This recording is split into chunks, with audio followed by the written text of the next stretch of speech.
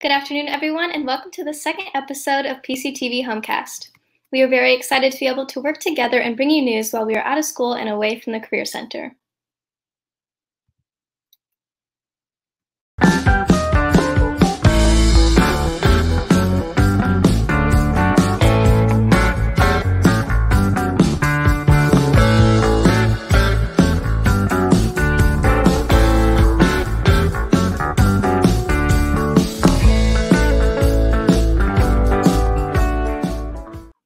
Thank you for tuning in. I'm Maya Vickery, and this is PCTV Homecast. Starting with the update on the number of coronavirus cases in Porter County, 217 positive, positive cases have been reported, 15 people hospitalized, and 6 deaths. 87 cases have recovered. Our very own reporter, Kenzie Klein, has more about a possible treatment or cure on coronavirus. Over to you, Kenzie. Thanks, Maya. With more than 873,000 confirmed cases of COVID 19, the U.S. is in desperate need of help. In a recent White House coronavirus task force briefing, President Trump suggested that using light and heat could be an interesting experiment to help find a potential cure for the virus.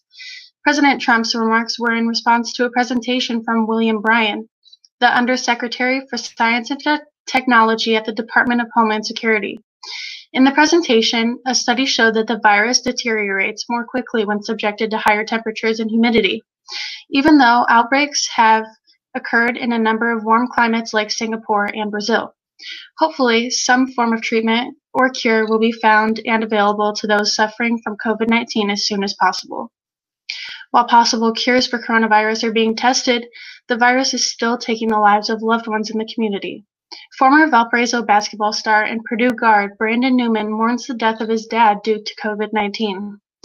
Ronald Newman, father of the former Viking star, was one of the most decorated officers in the Chicago Police Department and earned 137 departmental awards throughout his nearly 20 years of service on Chicago's South Side.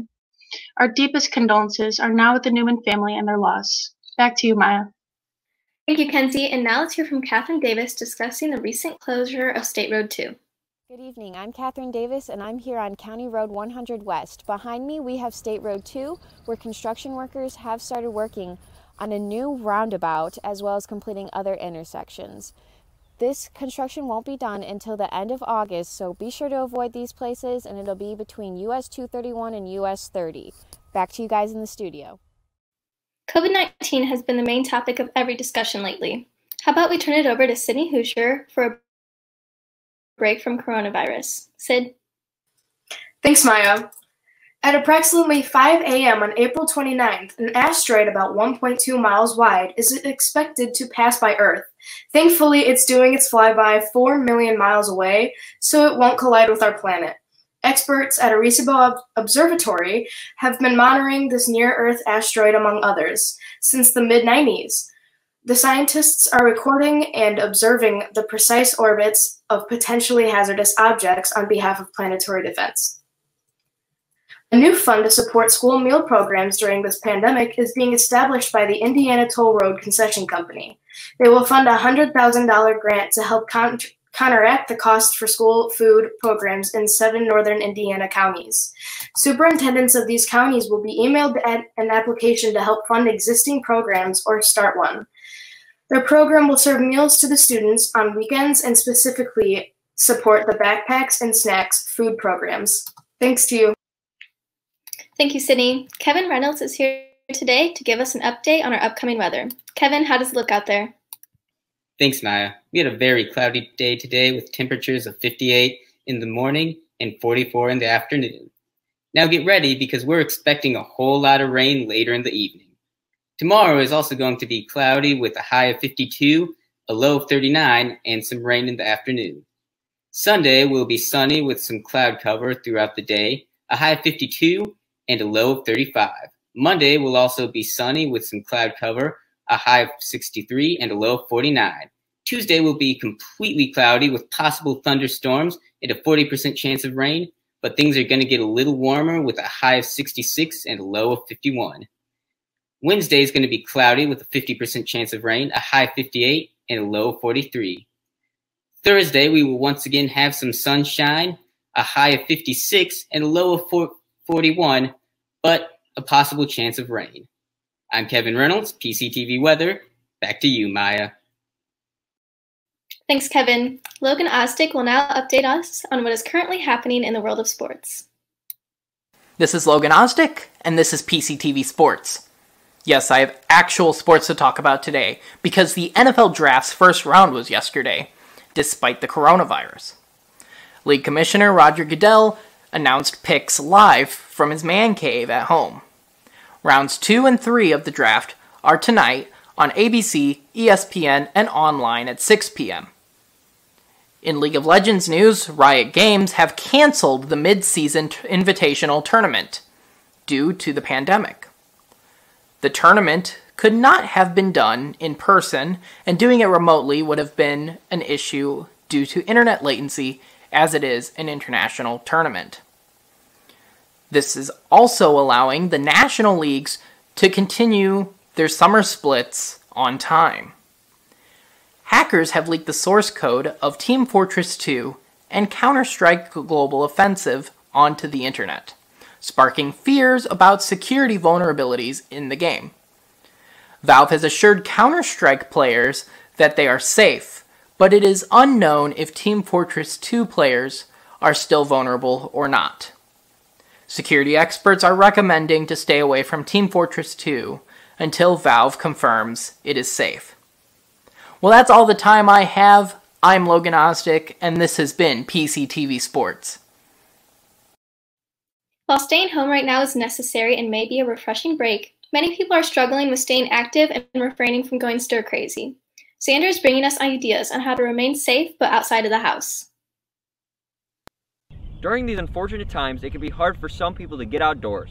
However, fishing is a great way to get fresh air and exercise. As long as you're practicing social distancing, it's a great way to spend time with your family. It's also not that complicated to figure out. All you need are some poles, bait, and some type of water, whether it's a pond, a lake, or even a river. As the water starts warming up during these summer months, these fish will start to be moving from deeper water to shallower water looking for food to eat. This will make it a lot easier for you guys to catch the fish. If you're interested in watching more videos about fishing, you could go to my YouTube channel, Indiana Excitement, where I go around Indiana and fish while giving tips and tricks. As long as you're being safe, fishing is a great way to get outside and enjoy the weather during these tough times. And now over to Katie Weber as she shows us very way, various ways to stay busy during self isolation. I know just how hard staying busy is during this quarantine. There are times where I'm so bored that it's unbearable. But I've given some of these activities a try and it really helps smooth things along. So maybe give it a shot. Go on a bike ride with your family. Try completing a puzzle. Go through your closet and have a fashion show. Try out different hairstyles. Try cooking or baking something. Play a video game with your friends. Maybe do your e-learning. Take up yoga or exercising. Or you can try decorating your house with hearts to show your support to the essential workers. Hopefully one or more of these activities have piqued your interest. And there are many more activities than just the ones I have listed, so maybe give one of them a shot. Remember, we're almost through to the end. Don't give up hope just yet. Let's end this episode off on a good note with Kate Bagnall reporting on some good news. Good afternoon. I'm Kate with PC TV, and I'm here with your good news. In Portage, Aylesworth Elementary, teachers and staff are trying to bring encouragement to homebound students. Aylesworth Principal Taylor states that teachers have been keeping up with their students through videos, phone calls, and emails. Over the last few weeks, the teachers planned for between 40 to 50 staff members to attend and drive up and down the streets of Portage near Aylesworth Elementary to encourage their students to continue doing their best. Our next piece of good news comes from the Northwest Indiana Times. It seems Northwest Indiana communities are rallying around 2020 senior students graduating from home. As many communities come together to support their seniors, Hebron High School is jumping on board as well by assigning volunteers with home addresses and lawn signs to be placed in the lawn of every Hebron senior to show their love and support. Like many across the region, Hebron is also featuring students in 60 Seconds with a Senior on social media posts to recognize all their hard work, achievements, and their future plans. As a 2020 senior myself, I received my senior yard sign, this morning, which was a nice gesture from my school to show their love and support. Now, back to you, Maya. That's awesome, Kate. I know everyone is thinking of seniors during this. That's all for this episode of PCTV Homecast. Thank you for joining us today, and don't forget to come back next Friday, May 1st at 5 p.m. for our next episode. I'm Maya Vickery. Have a good night.